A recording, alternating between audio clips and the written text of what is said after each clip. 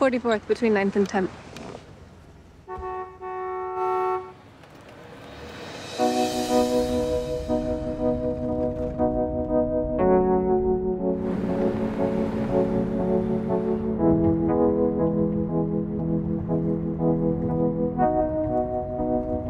It's nice you're not on your phone. See a human, not plugged in. It says a lot about you.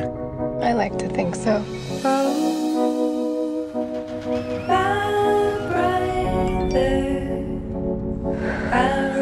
His name?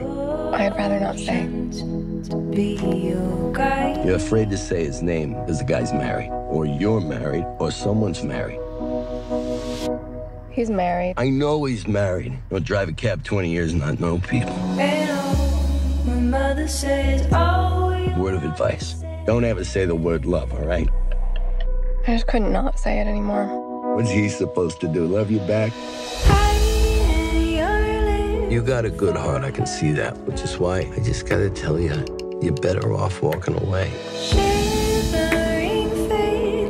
What about you? Well, it's time for me to ante up. Yeah. All right. Like, how'd you meet your wife? She threw up in my cab.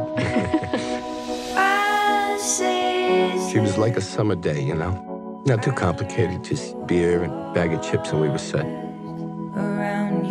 Do you miss her? I do sometimes. Yeah.